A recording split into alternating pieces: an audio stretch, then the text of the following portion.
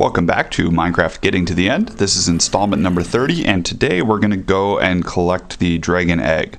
Now, we already killed the ender dragon a few episodes ago, and uh, um, all we have to do is go ahead and grab the egg from the end, um, but it is, uh, you know, kind of a special thing. Um, we should be able to grab it with a silk tuck touch pickaxe, which I just happen to have.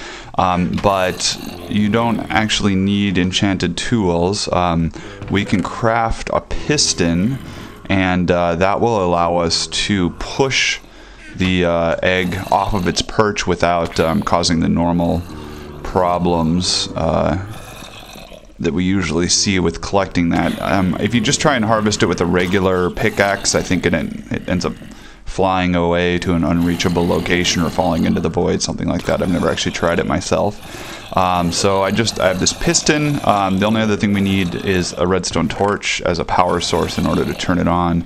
Although I suppose you could use like a button or a switch plate or anything like that. But redstone torch is pretty easy. And uh, I'm just going to go ahead and head on out to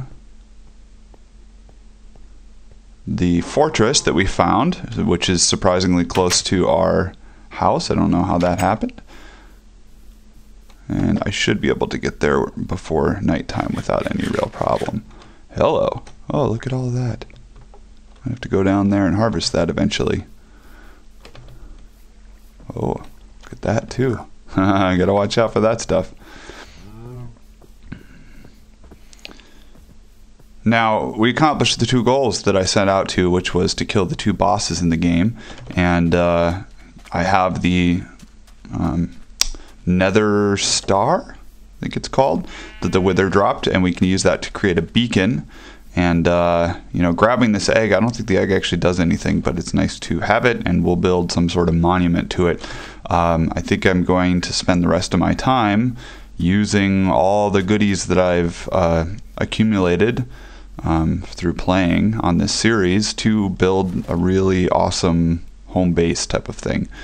Um, I have uh, just a ton of Silk Touch pickaxes. I got like four of them in a row while crafting. I don't know how I got so many, uh, but I'll use those to uh, harvest stone without turning it into cobblestone. And the stone can then be crafted into stone brick, which looks like a nice gray castle. Um, we'll see what else there is to accomplish, but that's uh, kind of what I'm looking at after this particular installment.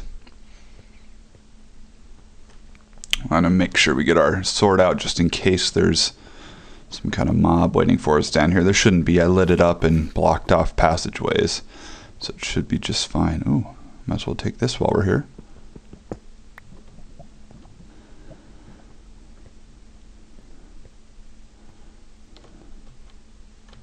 Now, once again, my advice to you when we go to the end do not look at the Endermen. they will ruin your day. All right, here we go. So, uh, the dragon's dead. As long as you don't look at the Enderman, you'll be just fine. And so I'm going to go ahead and uh, widen our path.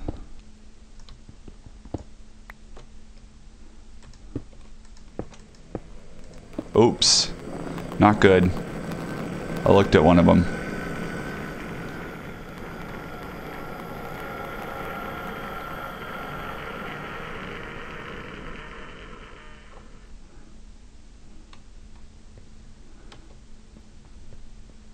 I'm going to run this way and try and get up away from him.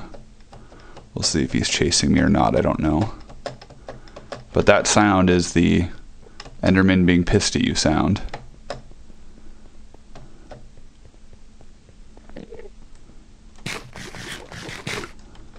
I don't really see. I think he would have been chasing me by now, so we're probably okay. And right up there, you probably can't see it, is the uh, dragon egg right on the top. So this is the portal that gets created, and the dragon egg is right up there. So what we're gonna do is uh, build a little bridge to get out there, and I'm gonna go ahead and um, build a platform all the way around this bedrock. I don't think there's any way without mods or something to harvest bedrock. Um, but you can look that up if you're wondering. So now we can just take the piston and I, I think put it right here would be fine and get our redstone torch. There it is. And we picked it up. Whew, that almost fell into the portal. I don't know what would happen if it did fall in the portal, fall in the portal, but rather avoid that if possible. And we'll pick up our piston again. I think we got it. We sure did. Ooh, dragon egg. All right. And then back to our spawn point, which should be the bed by way of the poem, which I'll press escape to get out of. Oh no! I seem to have crashed Minecraft.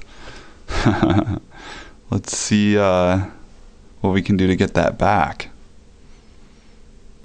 So I did uh, have Minecraft crash, but uh, when I logged back in and went to play the game, it just put me at the poem again. I pressed escape and I uh, woke up um, here in my bed over in my underground lair.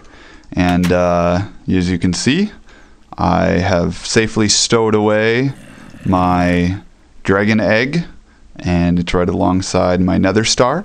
Uh, that's it for this episode of Harvesting the Dragon Egg. Uh, a little bit anticlimactic, but uh, join me for the following series of posts because I'm going to make a respectable base, a really nicely designed house, hopefully. I'll be using this nether star to create a beacon and uh, doing all sorts of fun things that we didn't do on our main push to kill the two bosses.